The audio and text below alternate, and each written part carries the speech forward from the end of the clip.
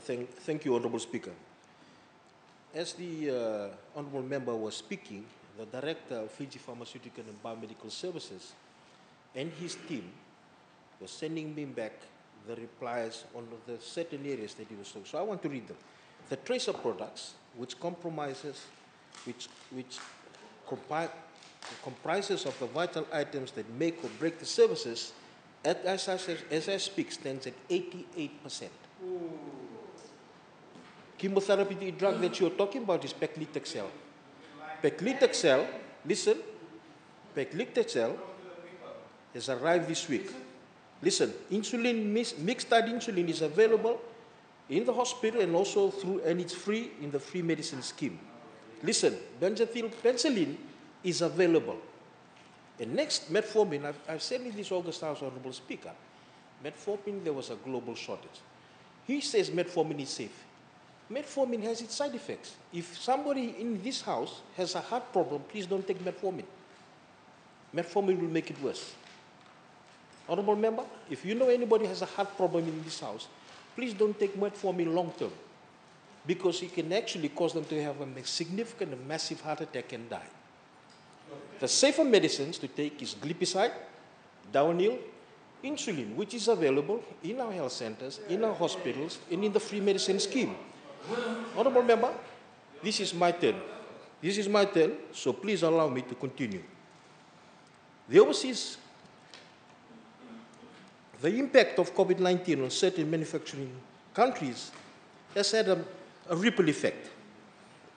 Stages of supply chain, such as manufacturing, distribution, and shipment, they've also struggled. The new normal in supply chain and procurement of medical supplies have brought changes, such as one, logistics is affected to restriction in movement, production of pharmaceutical items have been affected due to label numbers and working hours because of lockdowns.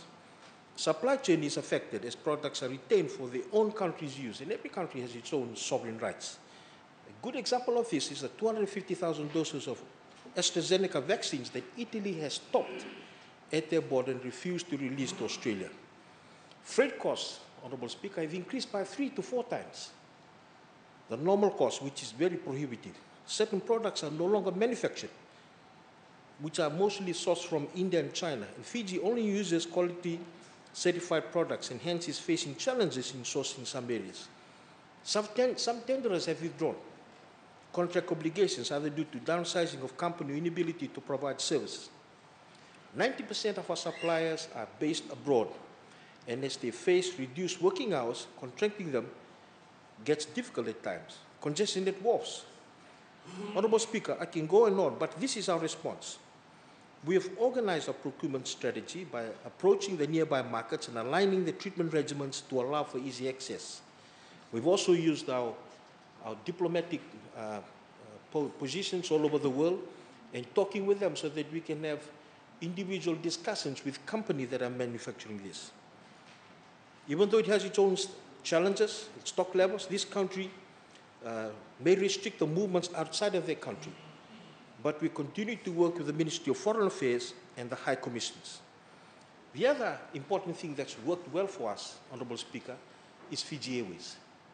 During this very difficult time, when we've normally had containers of drugs and medicine that we wait for and being held up, Fiji Airways has been very useful in bringing back that straight over to us.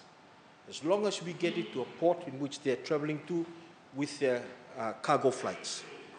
And we are very grateful for them. For example, with the kidney medicines that we are currently use, we continue to consult with the doctors, the National Medicine and Therapeutics Committee and medicinal boards to alternative medicines in concurrence with the clinical guidelines.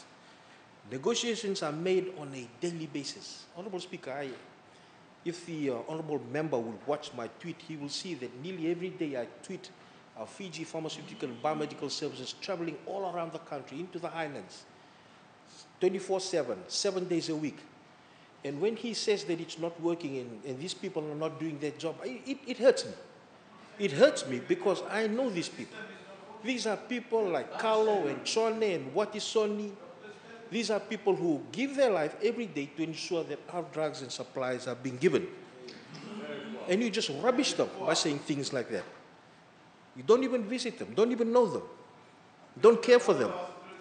Procurement officers are staying back to ensure that we contact suppliers. As you know, these are overseas. During our working time is their sleeping time. So they stay back after hours to actually contact them. The current stock availability is at 88%, I've just alluded to. 88%. So if there's an issue of a health center or nursing station, then it's an issue of that particular leader of that nursing station or health center in liaising with the Fiji Pharmaceutical Services in being able to get its supply to itself.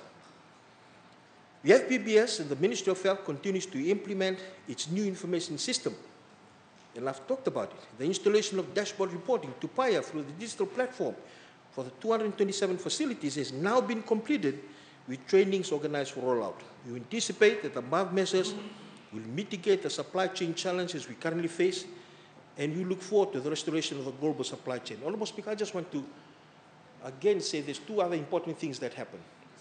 In the past, we used to supply uh, retail pharmacies. We used to buy at a very low price, and they used to purchase from us for their own supplies. We've stopped that so that we can beef up the public health system. The other thing that we have done is we are buying to stock, to try and, to actually increase the stock that we have. And to that extent, uh, we are, you know, we, we actually have had discussions. We are expanding our Fiji Pharmaceutical and Biomedical Services warehouse, the one based in Vatuwaqa. We are also looking at putting a warehouse with development partner support in Labasa so that we can stock as much as we can. We realize that there is a, uh, a struggle with this in terms of the likelihood of wastage beyond 5%, but we accept that in this difficult climate that the whole world is facing, this is one of the mitigation measures that we will do. Honorable Speaker, I also want to say that there are many countries around the world that are better than us, GDP-wise, that have lesser medicine than us because of the significant problems of COVID-19 that's placed upon them with the community transmission, and also because of the significant problems that's placed upon them because they don't have an airline willing to fly for them. They don't have uh, ships willing to take their medicines there. I was in a meeting, uh, Honorable Speaker, and, and a very senior doctor from another country said that there were discussions happening for their hospital to actually close because they just didn't have any supplies. That's the state of affairs around the world.